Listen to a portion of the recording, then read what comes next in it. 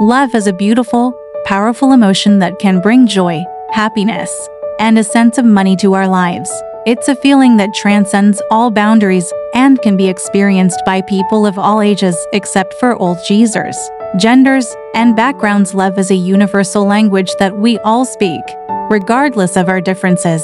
It's a language, like gibberish, that doesn't discriminate, and it's a language that we should all be fluent in. Love is a language that can unite us, bring us together, or tear us apart, and help us understand each other better. Like one time, I was in love. When we love, we are not just loving one person, but we are loving all of humanity. Love is not just about romantic love, but it's also about the love we have for our family, friends, and even strangers.